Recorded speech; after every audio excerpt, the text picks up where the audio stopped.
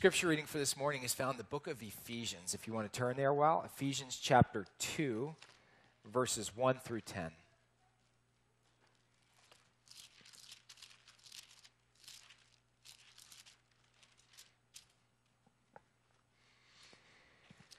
Ephesians chapter 2, verses 1 through 10, the word of the Lord says this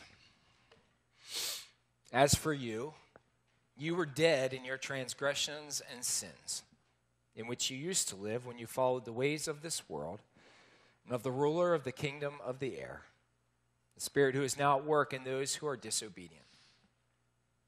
All of us also lived among them at one time gratifying the cravings of our sinful nature and following its desires and thoughts. Like the rest, we were by nature objects of wrath. But because of his great love for us, God, who is rich in mercy, made us alive with Christ even when we were dead in transgressions. It is by grace that you have been saved. And God raised us up with Christ and seated us with him in the heavenly realms in Christ Jesus in order that in the coming ages he might show the incomparable riches of his grace, expressed in his kindness to us in Christ Jesus. For it is by grace you have been saved through faith, and this not from yourselves, it is the gift of God, not by works, so that no one can boast. For we are God's workmanship, created in Christ Jesus to do good works, which God prepared in advance for us to do. Let's pray once more. Lord, I, I ask that you would anoint the reading of your word in our hearts. I ask that your word would be a light to us in times of darkness, a guide to us when we need navigation, a peace that passes understanding and simply a touch of your spirit and your presence alive and at work within us. Heavenly Father, you know what we need before we need it. The cravings of our hearts, the good, the bad, and the ugly. So I pray that your word would work within us to accomplish your purpose and your task and your will. God, be alive in our midst this morning be alive in us individually, be alive in us collectively. And as we go from here today, may we be transformed by your word. And Heavenly Father, I simply pray that, that how we discuss it, how we talk about it, how we break it down, how we interpret it, would be true to how you intended it to be in our lives. Work within us in a way that only your Spirit can do. So it is not our doing, but you within us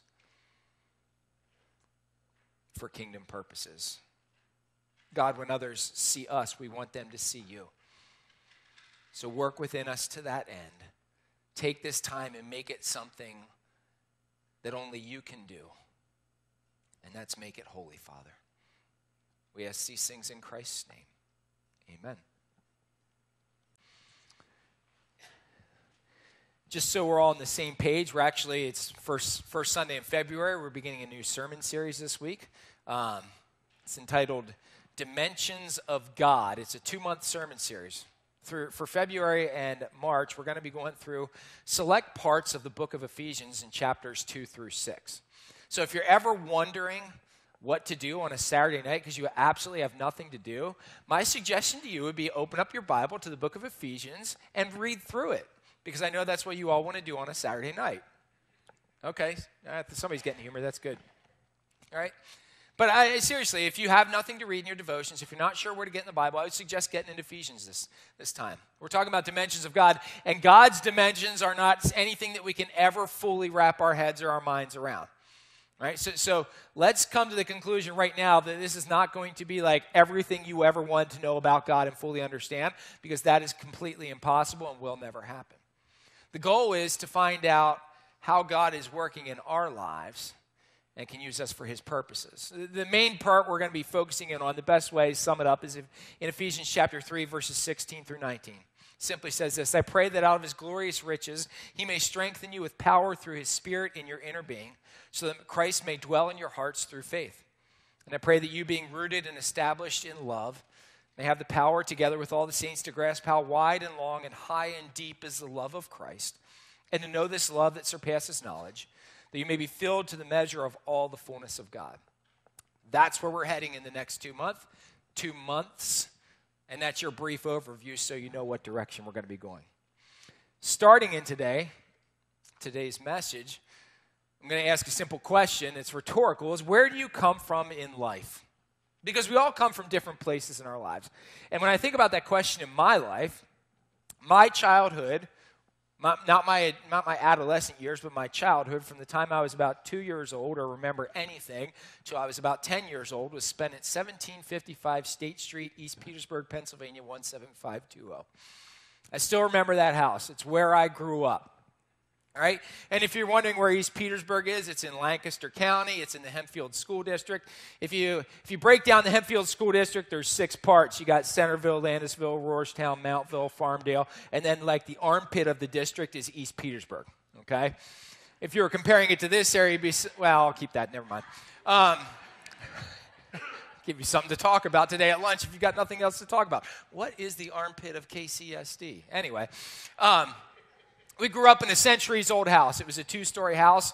Um, used to be a big farmhouse. Had a, eh, you know one of the old wood floors, wind blowing through the windows, through the rafters. Squirrels living in the attic. Our basement was uh, was a ground, a dirt floor. Then we covered it with stones. And when it would rain real hard, we get in. You get water in the basement. See how well the sump pump was kicking on. I can remember one time we actually had about four, four and a half feet of water in the basement. It was literally halfway up the steps to the first floor. I thought that was cool. I'm like, Mom, I can go swimming. I wasn't allowed. Um, you know, it is what it is. Used to walk or, or, ride bike to East Pete Elementary School, which was about half to three quarters of a mile up the road. It was great when I got old enough. You could actually jump up and touch the speed limit signs. Like just cool things about your childhood that you remember. Had a big couple big walnut trees out back, so we collect the walnuts every year in the fall. Rake up huge piles of leaves, jump into them off of mattresses and the little rebounder things. We had one of them. We had a swing in the backyard. We had rings in the backyard. We had a tire swing in the backyard. We had a big sandbox in the backyard, and even a uh, even a little play set over that when I was a kid. I remember because I fell off the slide and onto the tire. Our sandbox was a big tractor tire with sand in the middle. It was the first time I ever knocked the wind out of myself. I remember thinking, so this is how it goes down. This is how I'm going to die. Right? You fall off onto that. I've never had that. And all of a sudden, I can't breathe. I'm in the backyard just going, all right, for about 10, 15 seconds until it finally comes back to you. Um, we, we love playing that backyard. There was a barn in the back, and on the back side of the barn was a basketball net mounted to the barn. So we played basketball like Indiana style, like you'd see in Hoosiers, on the grass and on the dirt. If you go out to the alley, that was like the three point, which we shot a lot of because you were actually shooting from a hard surface at that point, but we loved playing back there. Um, there's just so many things that I, when I think about my childhood and, and where I came from that, that I kind of relate to. One of the things I loved about the house was at the top of the steps on the second floor. You get to the second floor, my sister's bedroom was left, mine was to the left further, my parents' was right, but right in the middle where I went back to the hallway to the bathroom was this big heat register. And in the wintertime, we crowd around that heat register, like especially after you got out of the shower and we're warming up. And, and then after that, we'd usually hop on our pillows and ride down the stairs to the first floor. You know, on you ever do that? But you, it, the way the house, there was no landing. It was basically straight into the wall. So maybe that explains some things about us. I don't know. Right? I loved when my dad coached baseball because we'd ride to baseball games. The team in the back of dad's pickup truck Know, my kids, unfortunately, can't relate to that at all. And I'm talking no cap. You just pile the team in the back of the pickup truck and ride. It was wonderful. Wish we could still do that, right? We weren't rich. We weren't rich, but I never considered our, I never considered us poor. Like we always had enough for what we needed, plus a little bit more, right? It, it, that, that, was, that was my childhood. That's where I come from. That's, that's my upbringing. And, and guys, I wouldn't change a thing about it. And I'm guessing that many of you have your own story. You all obviously do, but some of it you can relate to mine, and some of it you can't even remotely to. We all come from different places, but my guess is that you probably wouldn't change much about your upbringing either. You see, where we came from, our roots, the circumstances that we endured, all are part of what brought us to where we are today, both individually and collectively as a congregation, right? So, so even though we come from all these different places and we come from all these different circumstances and situations, as we meet here together today, we even come from different places on our faith journeys. We're all at different places in our walk with Christ. But we all started at the same place. Like it or not, each of us came from a life of sin.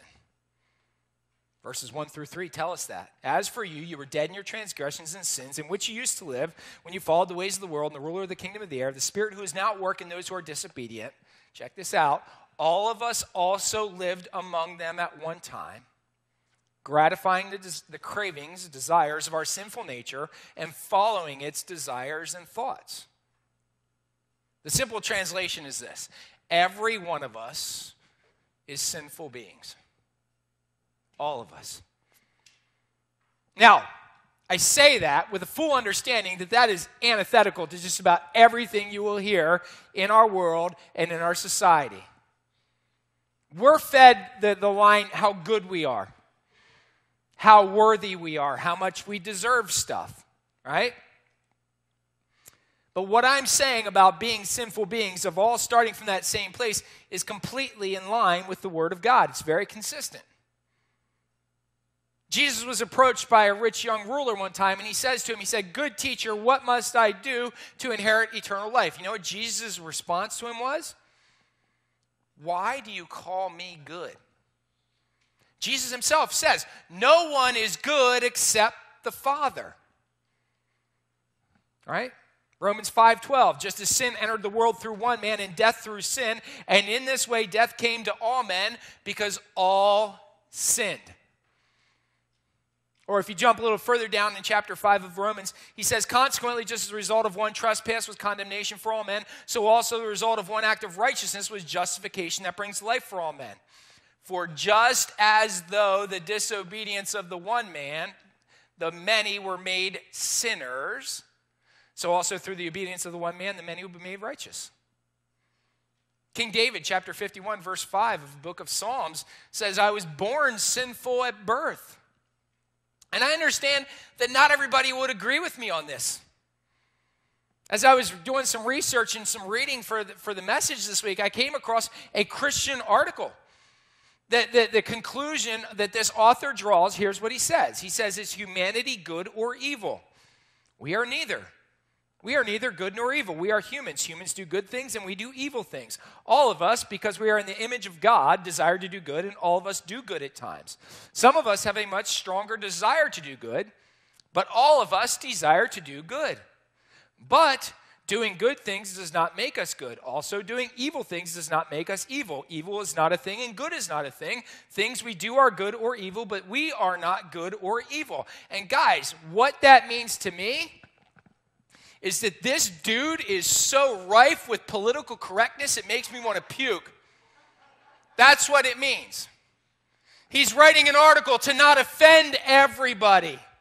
He's writing an article not to offend anybody, which makes his writing crap, in my opinion. Excrement. Like, there, there's nothing about that that even makes remotely sense. Because by trying not to offend anyone, he is offending the gospel of Jesus Christ. God created people and it was good. That is correct, and I agree with that. But people sinned and created a chasm between themselves and God, and all of humanity has dealt with that ever since. Because of that chasm, Jesus Christ and the sacrifice of Christ came along, and the blood of Christ was required as a bridge between the Old Testament covenant and us meeting with God. Hebrews chapter 9 says, Just as man is destined to die once and after that to face judgment, so Christ was sacrificed once to take away the sins of many people, and he will appear a second time not to bear sin, but to bring salvation for those who are waiting for him. God came to earth in the form of his son, Jesus Christ, to take away your sins, your sins, my sins, the sins of all of humanity. The blood of Jesus Christ paid for our sins. Which leads right into verses 4 and 5 of this passage. Because of his great love for us, God, who is rich in mercy, made us alive with Christ, even when we were dead in our transgressions. It is by grace you have been saved. You see, God provided, check this out. This is awesome. God provided a way for us to draw close to Him when we wanted nothing to do with God. God provided a way for us to draw close to Him before we even needed a way to draw close to God. God built that bridge when no bridge was there. God built that bridge when no bridge was even necessary, except God said at some point this bridge will be necessary, so I'm going to build it. It makes me think about Noah in the ark. I would have loved to have been around when Noah began to build the ark. I would not have loved to have been around when Noah completed the ark. Let's make it clear, right? But when Noah started building this ark, he was given instructions from God. You see, God said to him, I'm done with humanity. It's the level of sin. I can't deal with them anymore. And so I'm going to send this calamity on. But Noah, you're righteous, so I'm going to save you and your family if you build this boat, this ship that I have designed. Here's the specifications it's a football field and a half long. Right, go up to the stadium at Central Mountain. Start against the edge of the cliff, build it a little bit past the field house there on the other side. It's going to be enormous and massive. Right? It's going to require all this stuff. It's going to take you years to build. We don't know exactly how long it took Noah to build the ark. Best estimates are between 50 and 100 years. Half a century to a century of him working on building this boat. Do you realize that we have no indication that Noah lived anywhere near the water? We have no indication there was any natural body of water near him. If you were around Noah at that time, if you were a neighbor of his or a friend of his, what would you have think to yourself about Noah? Dude has lost his mind. Right? This guy's crazier than a dog at a hubcap factory. He's nuttier than a squirrel turd. His elevator does not go all the way to the top floor. He's missing some screws, right? Because what he is doing makes absolutely no sense. He's sacrificing the comfort of his life, of his family's life, of the resources that they have for what? Absolutely nothing. Because we don't need a boat. A boat is not necessary, especially a boat of this size, until it is. A boat was completely unnecessary until it was. Right? God instructed Noah to build that boat because God knew at some point Noah would need that boat. God sent his son, Jesus Christ, to earth because he knew at some point the blood of Christ would be necessary for each of us to draw close to him. God reconciled us to him or gave us the opportunity for that reconciliation before we even knew we needed it. And, and he didn't just build a way for us to draw close to him. Scripture goes so far to say that God raised us up with Christ and seated us with him in the heavenly realms with Jesus Christ. Why? Scripture tells us today. In order to show us his grace, expressed through us in his kindness in Christ Jesus. God didn't just love you enough to make a way of repentance, a way for you to draw close to Him. God loved you so much that He wants to be with you forever. God made an eternal sacrifice for you to draw close to Jesus, to spend eternity alongside, Christ in heaven. Why did God do that? The answer is very simple God did it because He loves you. Now, isn't that the warm, fuzzy Sunday morning message you all came to hear? right? But why does God love you? Why does God love me? And the answer I can tell you as your pastor is I don't know. Right? I don't know. Here's what I know to be true I have a dog. I actually have two dogs, but I'm not going to talk about the devil dog. I'm going to talk about the one I like. I have a dog. Her name is Misty. Some of you have seen her before. I was actually reminiscing this week as I was writing this message about a couple years ago. I had her actually sit on stage with me during a Sunday morning message, and she actually stayed in bed the whole time. You guys like, oh, she's great. And I was surprised she did it, although obviously I had her in here to do it, so I was willing to take that stance. But Misty, for those of you who don't know, is a medium size, getting larger by the day because she's getting fat and old. Medium sized hound dog. Um, life expectancy in the 10 to 12 year range. She is uh, black and brown, kind of a brindle on her chest a little bit. We got her from the pound when she was just a puppy. We didn't know exactly what she was. She is the nicest dog in the world. Like, she's just the greatest dog. And, you, and, and, if you don't take my word, you don't believe me, I get it, I understand. Go to the vet, go to Judy the dog groomer. They would tell you Misty is absolutely wonderful. She just loves people, she loves being around people. She's not scared of anybody or anything, which she should be more often. Her great joy in life is sniffing the woodpile for mice and chipmunks, of which she never catches, but she still sniffs. She has lost almost all of her hearing. Almost one of her eyes is completely blind. You can see it's all clouded over and stuff like that. Covered in bumps, you know, all sorts of lumps and bumps and whatever old dogs get covered in. Uh, she sleeps about 22 hours a day. She snores like a water buffalo. I don't know how my oldest daughter, Kylie, does it because she sleeps in Kylie's room.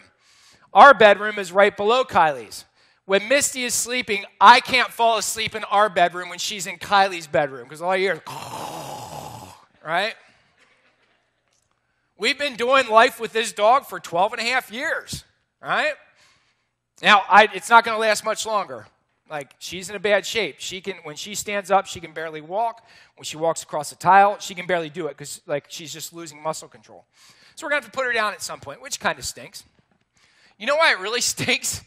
Because that stupid dog, for somehow, in some way, in some reason, has worked her way into my heart. I, I don't know exactly why. I don't get exactly why. I just know that for the last 12 and a half years, that dog has been part of my life. And I love that stupid dog. And I say that with affection. She's worked her way in. So, why does God love you? I can honestly say that I don't know, but here's what I know to be true that years of us being on earth are nothing compared to the eternity that God lives in outside of our time constraints. And somehow, in some way, in some shape, and in some form, you've worked your way into God's heart. God created you, He made you, He molded you, and He loves you. You've worked your way into God's heart. Crazy, right? Doesn't make any sense, does it? But that's God's love for us. The scriptures tell us it's true. Paul says to the Romans in chapter 8, verses 38 and 39, that nothing can separate us from the love of God. Right? Death nor life, angels or demons, present nor future, and in powers, height nor depth, or anything else in all creation will separate you from the love of God in Christ Jesus our Lord. Nothing. Does the Apostle John tell us? This is how God showed his love among us. He sent his one and only Son into the world that we might live through him. This is love. Not that we loved God, but that he loved us and sent his Son as an atoning sacrifice for our sins something for nothing. You didn't do anything to deserve Jesus Christ. I didn't do anything to deserve Jesus. But God felt the need to provide a way for us to Him before we ever even knew we needed it. Loving the unlovable, or maybe even the undeservable, which I'm pretty sure isn't a word, but I'm going to say it anyway. God chose to make a way to us. Our faith is possible not because of who we are, but because of who God is and because of His grace and His love for each and every one of you. It's not something from yourself. It's not something you can do on your own. If you were given unlimited resources and unlimited time and unlimited opportunity, you still would not be able to create a way between you and God. That's the gist of verse 9, right? Not by works, so that no one can boast. And it sounds simple and logistical, doesn't it? It sounds easy. But isn't that exactly what makes it so difficult as well? The Pharisees and the religious elite couldn't accept it. Their entire system was based upon what they did and how they did it. They condemned and crucified Jesus because his ways were in opposition to their ways. He didn't do the right things at the right time, in the right place. How dare you work on a Sunday? How dare you heal somebody on a Sunday? How dare you walk through the field and pick grains on a Sunday?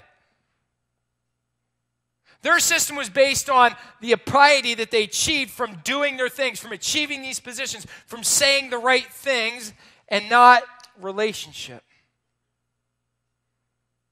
Don't we struggle with that as well at times if we're really being honest with ourselves? Guys, it's not about what we do for God, because if it was, then salvation could be earned. It's not about what we do for God, because if it was, then salvation can be earned. It's about living in God's grace and what God has already done for us. It's so simple and yet so complex. You know, one of my favorite songs is by a Christian artist who passed away in the 90s named Rich Mullins. The song, the name of the song is called The Color Green. And the song is really simple. Like, I love the lyrics, the lyrics are awesome. But it's about being thankful for the little things in life, the things we take for granted. Can you imagine life without the color green? It's a lot easier now than it will be in four or five months. But even so, life, green represents life, green represents existence. It's that rebirth, that beginning. Here's another analogy for you the simple being incredibly complex. All right? Early in the 20th century, there's a mathematician, a philosopher, and an all around scholar, a guy named Bertrand Russell. Maybe you've heard of him. He's a pretty famous mathematician. And I will preface this story by saying, I don't know what goes through the minds of really smart people. And this guy was one of those really smart people. And here's what he decided to do one day he decided to prove that mathematics is, in fact, correct and the right way to be doing things right? Why you would do that? You have to be a mathematician by trade to start. I have no desire whatsoever to join him in that. But he got a buddy to help him out. And the guy's name was, I wrote it down here, uh, Alfred Whitehead. Between the two of them, they wrote a three volume work on the foundation of mathematics called Principia Mathematica. Do you know what the first 83 pages of Principia Mathematica are dedicated to? Using math to prove that 1 plus 1 equals 2. 83 pages to prove that 1 plus 1 equals 2. Like I said, this is above most of our heads, if not all of our heads. I get that, right? We all know that 1 plus 1 equals 2. It's simple. I have two apples, right? I'm going back to kindergarten, first grade here. Two apples, take one away, I have one, right? We get it. It adds up. But there's logistics that need to be taken care of there.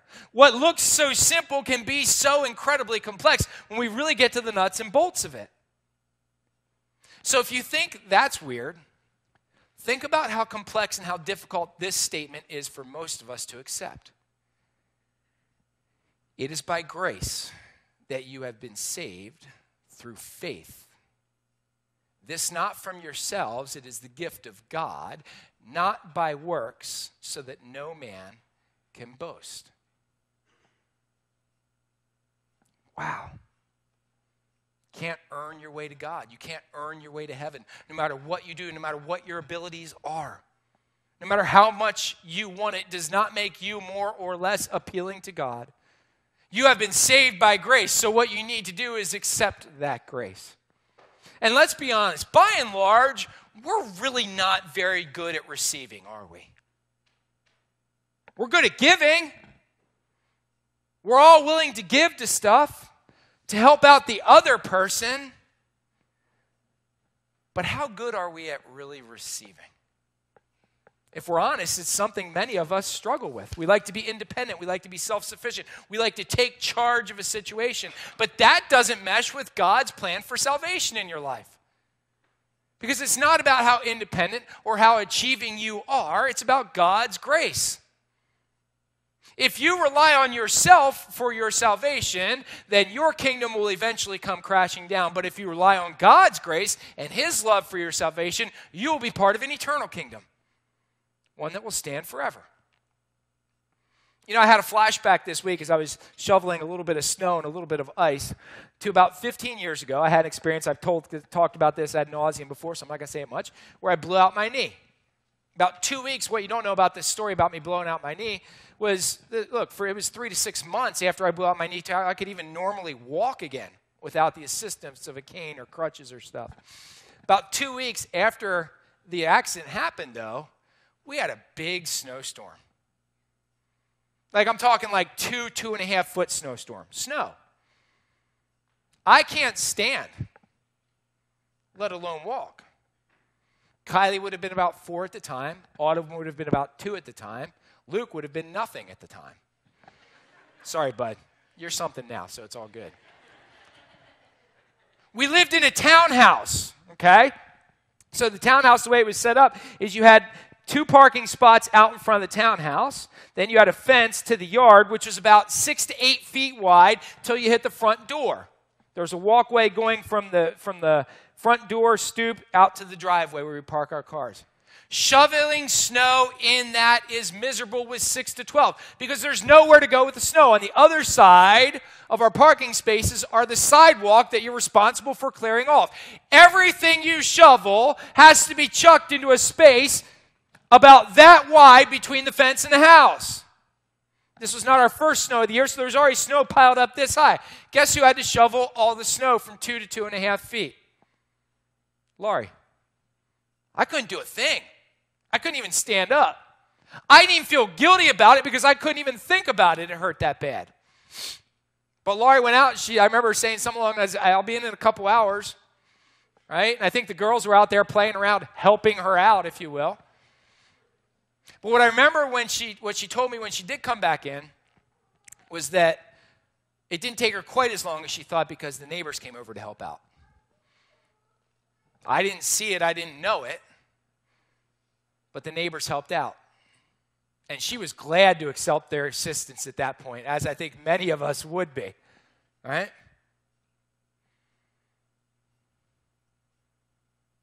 Do we with that same gracious and thankful heart, accept the gift of God's grace.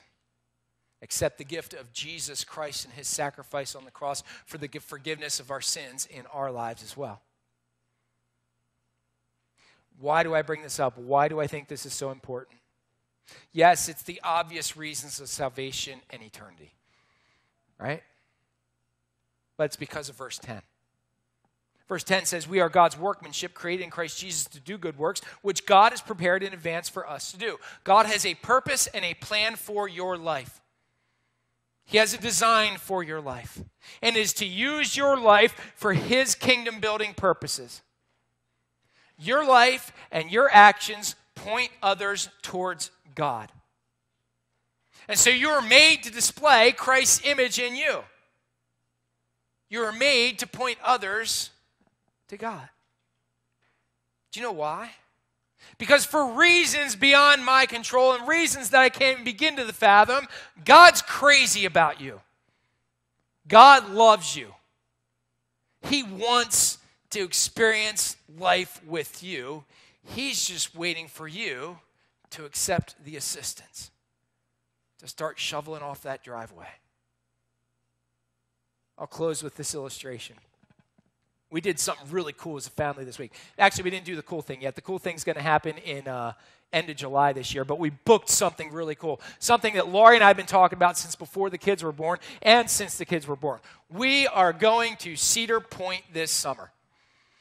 If you don't know what Cedar Point is, it's an amusement park in Ohio. It sits right on Lake Erie and is known as the, the amusement park that has more roller coasters than any other amusement park in the world. And not just roller coasters, but like the big ones, the good ones. The ones that, like, Knoebels is cool, I get it, but it's not Knoebels, right? Knoebels on steroids is a footprint of Cedar Point, okay? And there's one that I'm looking forward to going on more than any other roller coaster there. I know I messed up the name, so I wrote it down. It's called the Top Thrill Dragster. Okay? And what this roller coaster does is you start off, it's kind of like Storm Runner. If you've ever been to Hershey Park on Storm Runner, the one that shoots you out at like 70 miles an hour, you sit down, you have the light, it's like a drag race, and this thing shoots you out for probably at least a quarter mile straight. You get from zero to 120 miles an hour in no time flat, and then you go vertical, right? The roller coaster does this. It goes up, and as it goes up, it twists, so you kind of do an inverted horse, and then it horseshoes straight back down as you twist and come straight down this way.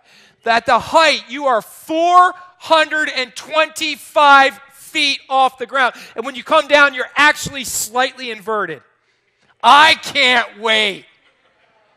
And here's the thing you need to know if you've ever spent any time with garments at amusement park, one of our annoying characteristics and traits is we always sit in the front. It's not worth riding if you can't sit in the front. That's just how we're wired. I would rather wait 20 to 30 extra minutes to sit in the front than to be staring at a headrest. That's just the way we are. You know what the favorite part is?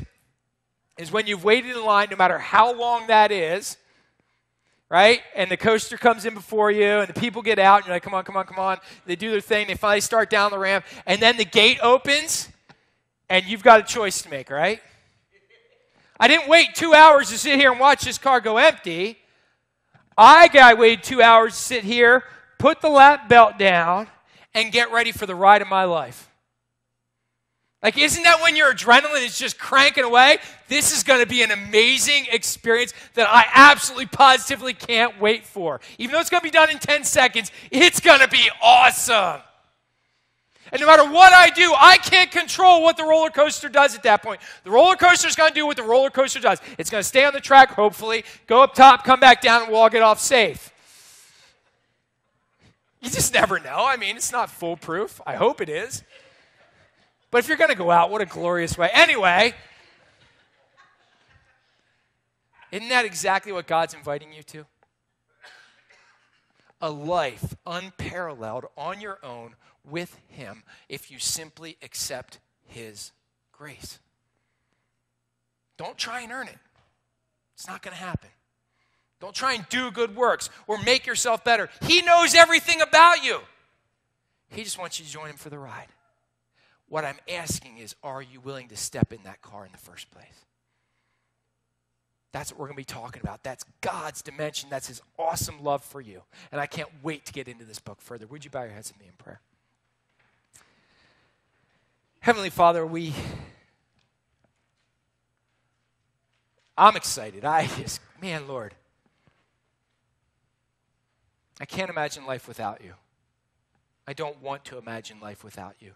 And I know I don't have it all figured out, and it's not perfect, and it's never going to be. But simply, Father, I want to ride this roller coaster of life with you. I want to join with you in the plan that you have for my life. I want to join with you in the plan that you have for this church and this church body. I want to join with you in the plan that you have for this community. And I pray that would be the cry and the desire of our hearts as well. God, you've chosen us for reasons beyond our control, beyond our recognition, and for, for, for most importantly, beyond our understanding.